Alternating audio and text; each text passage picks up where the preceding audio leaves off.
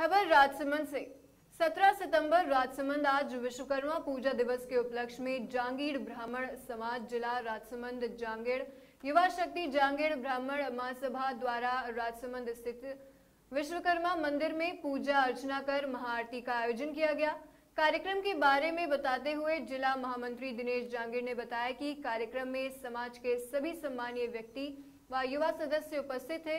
कार्यक्रम में जांगीर ब्राह्मण महासभा के जिलाध्यक्ष गोपाल जांगीर जांगीर युवा शक्ति के जिला अध्यक्ष विनोद जांगीर जांगीर ब्राह्मण महासभा के राष्ट्रीय उपाध्यक्ष महेश शर्मा, राष्ट्रीय संगठन मंत्री शांतिलाल शर्मा, जिला महामंत्री दिनेश जांगीर, राकेश सुथार, प्रभु दयाल जांगीर, मनोज सुथार, समाज के किशन जी सुथार, सुंदर लाल जी सुथार ब्रजलाल जी सुथार व अनेक समाज बंधु व गणमान्य व्यक्ति उपस्थित रहे।